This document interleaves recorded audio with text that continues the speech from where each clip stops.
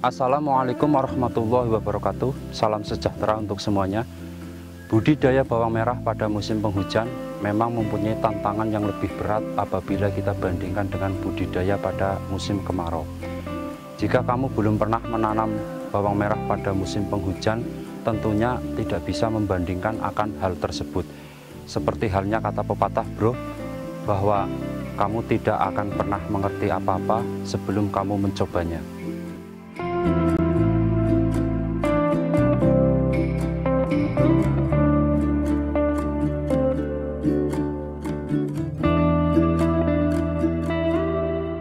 Harus saya akui bro bahwa terus mencoba menanam walaupun dalam konsep dan waktu yang berbeda selalu memberikan pengalaman yang berbeda pula. Dan pengalaman-pengalaman itulah yang akan menjadi guru terbaik. Dan jangan lupa juga untuk selalu bersikap terbuka terhadap masukan-masukan namun tetap selektif karena semua tempat adalah sekolah dan semua orang adalah guru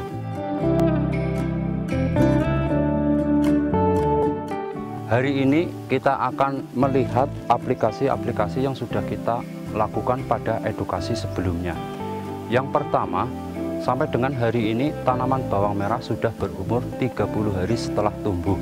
Sudah kita aplikasikan semprot leli sebanyak tiga kali pada umur 7 hari setelah tumbuh, 15 dan 25 hari setelah tumbuh. Harapan dari pemberian nutrisi leli 2000 adalah untuk meningkatkan jumlah anakan bawang merah dan memberikan perlindungan pada cuaca ekstrim seperti pada kondisi sekarang. Kemudian yang kedua, pemberian pupuk susulan yang pertama pada usia 10 hari setelah tumbuh kita menggunakan NPK Convection 3 kilo untuk 150 air untuk memacu pertumbuhan bawang merah.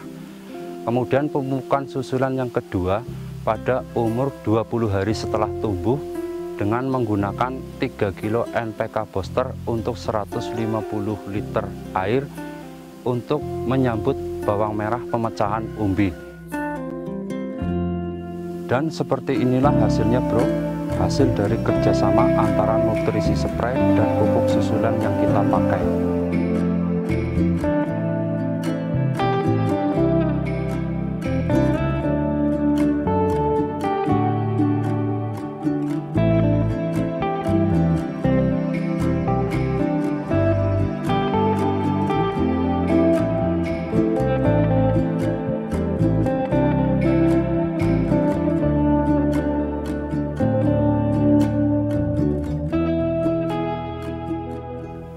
Seperti yang saya sampaikan tadi di depan bro, bahwa budidaya bawang merah pada musim penghujan mempunyai tantangan yang lebih berat bila dibandingkan dengan budidaya pada musim kemarau.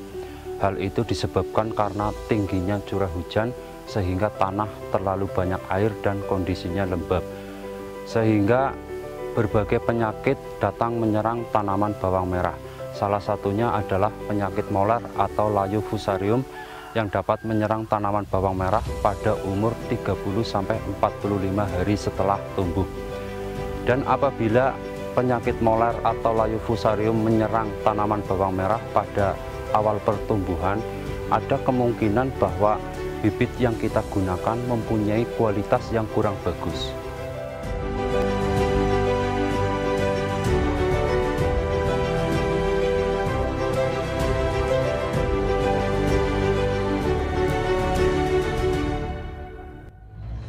Pada kesempatan kali ini bro, kita akan mengedukasi tentang tindakan apa yang harus kita ambil ketika tanaman bawang merah kita terserang penyakit molar atau layu fusarium. Yang pertama, segera mencabut dan memusnahkannya agar tidak menular pada tanaman yang masih sehat.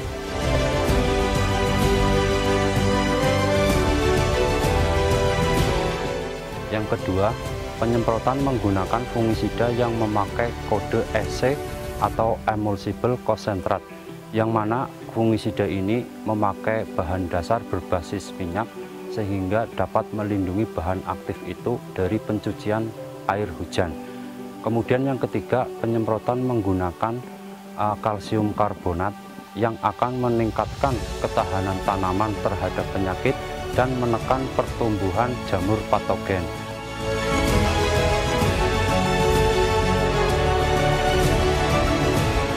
Yang keempat, karena kondisi sekarang hujan setiap hari, pastinya pH tanah menurun. Hal ini disebabkan karena tanah terlalu banyak air dan lembab. Sehingga poin yang keempat ini kita memperbaiki uh, keasaman tanah dengan pemberian dolomit. Seperti ini bro.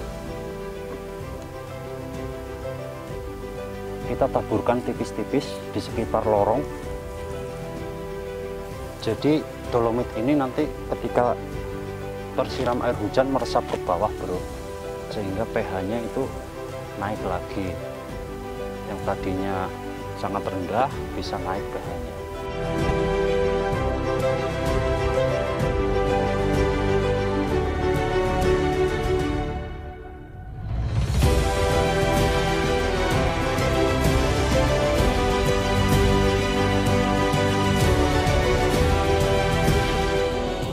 Kemudian yang kelima, gunakan agen hayati yang mengandung trichoderma sebagai biofimisida dan biobakterisida untuk melawan perkembangbiakan jamur di tanah penyebab penyakit tular tanah.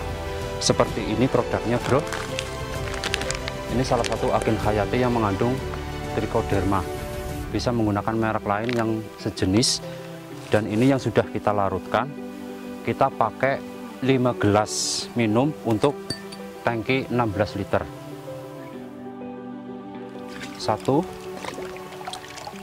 dua tiga empat lima